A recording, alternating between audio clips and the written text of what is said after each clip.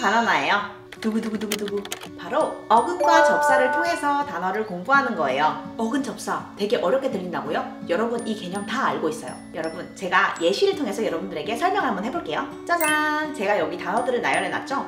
이 단어들의 특징이 뭔가요? 인어, 인물, 도인, 의인 다 뭐가 들어가? 인, 사람 인자가 들어가죠? 이 인자는 사람이란 뜻이 들어있잖아요. 그래서 우리는 잘 모르는 단어가 나와도 이렇게 한자의 뿌리를 들고 있는 단어들이 나오면 추측을 해서 단어의 뜻을 이해할 수 있어요. 우리가 한자어의 뿌리를 많이 두듯이 영어도 라틴어에 엄청나게 많은 뿌리를 두고 있습니다. 어휘의 60%에서 70% 정도가 라틴어에서 나왔다고 하네요. 그러니까 이 라틴어의 어근과 접사를 공부를 해보면 단어의 뜻도 예측이 가능하다는 거예요. 이 어근과 접사의 공부를 해주면요. 단어 간의 의미도 이해할 수 있고 단어 자체를 기억하는 것도 훨씬 수월합니다. 예를 들어서 이 for이라는 어근을 한번 볼게요. 이 어근은 뭐뭐 앞에 라는 뜻이 있어요. 그래서 우리 이마를 영어로 뭐라고 하나요? 바로 forehead라고 합니다. 왜 forehead라고 하지? 자, 여기 머리죠.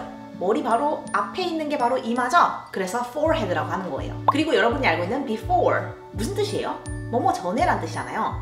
be는 존재하다는 뜻이고요. for은 앞에란 뜻이죠. 그러니까 존재 이전에 있다 해서 뭐뭐 전에라는 의미의 before이라는 뜻이 탄생한 거예요. 마찬가지로 foresee라는 단어를 보면 for은 앞에, see는 보다죠. 그러니까 앞을 보다, 미리 보다 뜻이 있어요. 그래서 뭔가를 예견하다, 추측하다 이런 의미가 있는 거예요. 이 for이라는 어근은요. 앞에, 전에, 미리 이런 뜻이 있어요. 그러니까 이런 어근을 잘 알아두면 처음 보는 단어도 되게 쉽게 외워지거나 이해할 수 있겠죠?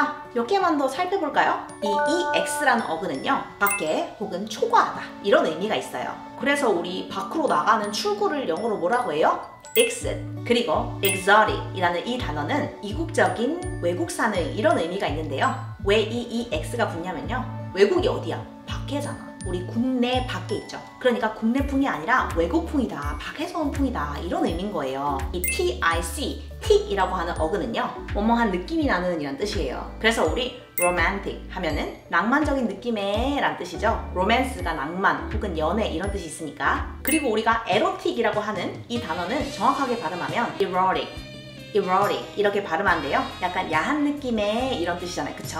그러니까 이 TIC로 끝나는 게 어떤 느낌인지 아시겠죠? 그리고 우리 숨을 내뱉다, 숨을 내쉬다 라고 할 때 exhale 이라고 합니다. 이 EX가 밖으로 이런 뜻이잖아요. 그리고 hale 이라는 이 단어는 끌어내다 이런 뜻이 있어요. 그러니까 우리가 숨을 내쉴 때 숨을 바깥으로 끌어내는 거죠. 그래서 exhale 이렇게 쓰는 거예요. 반면에 숨을 들이마시다 하면 inhale 이라고 하는 겁니다. 이 단어 어렵게 생겼는데 사실은 굉장히 이해하기 쉽죠? 그 밖에도 export, 수출하다, exterior, 외부의, interior 하면 내부의 란 뜻이죠? exterior, 외부의, interior, 내부의, extreme, 극단적인, extra, 여분의, 초과적인, extract, 추출하다, 짜내다 이 모든 것이 이 ex라는 어근에서 나온 단어들입니다. 자, 또 over이라는 이 어근 한번 볼까요? 여러분이 아시다시피 뭐뭐 위에 뭐뭐를 넘어서 많이 이런 뜻이 있어요. 그래서 overseas 하면 무슨 뜻이에요? over, 넘어서 뭐를? seas, 이 바다, 해양을 넘어서 있는 게 뭐야? 바로 해외죠? 그래서 해외의란 뜻이 있습니다. overseas. 또 overtake 하면 take는 우리가 취하다, 갖다 이런 뜻이잖아요. 근데 over 했어. 그러니까 뭔가를 갖는 것을 오버해서 한 거야. 어떤 일을 성취한데 over 해서 성취를 한 거예요. 그게 뭘까요? 바로 누군가를 따라잡다, 능가하다 이런 뜻이 있습니다. 마찬가지로 overlook이라는 단어도 굉장히 재밌는데요. overlook, over, 뭐뭐를 넘어서 뭐뭐 위를 이렇게 쳐다보다 이런 뜻이잖아요. 봐봐, 내가 핸드폰을 찾고 있다고 쳐봐. 제 핸드폰은 바로 여기 있어요. 근데 여기서 그럼 찾으면 되잖아. 근데 내가 계속 딴 데를 이렇게 넘어서 보는 거야. 그럼 어떻게? 핸드폰은 바로 있는데 얘를 넘어서 보니까 얘를 관과하겠죠. 그래서 뭔가를 못 보고 관과하다, 못 본 척 넘어가다 이런 뜻이 있습니다. 또 over는 엄청 많이 쓰여요. overeat, 과식하다, overdrink, 과음하다, overdo, 과장하다, 뭘 지나치게 하다, overbridge, 뭔가를 넘어가는 다리, 바로 육교입니다. 여러분 이렇게 공부하니까 어때요? 난생 처음 보는 단어들도 훨씬 쉽게 이해되죠? 맞아요. 그래서 어려운 단어는 이렇게 공부를 하는 게 맞습니다. 이렇게 공부를 한 다음에 여러 번 반복해서 기간을 두고 반복해서 보는 공부 방법을 하면 아대어지는 게 더 힘들겠다. 그렇지 않나요?